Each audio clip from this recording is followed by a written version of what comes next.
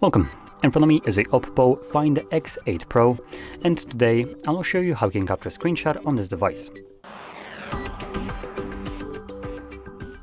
So to get started, you'll want to open up content that you wish to capture. I'll be using home screen as an example for this, so home screen is already open and visible on my screen.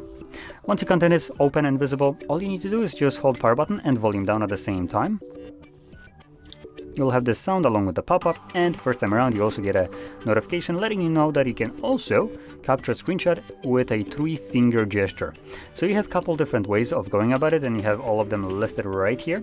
So you have three finger swipe, screenshot, three finger hold and then across gives you a selected area. Uh, this one where you hold and then swipe down allows you to go down partially. It allows you to just go cropped one without like top and the bottom, depending on how far you went and where you started. And then the all the way down is basically a scrollable screenshot. Um, anyway, I'm gonna capture another one. There we go. And you can see with the pop-up, you have scroll and share options visible right here, and this will disappear after a moment.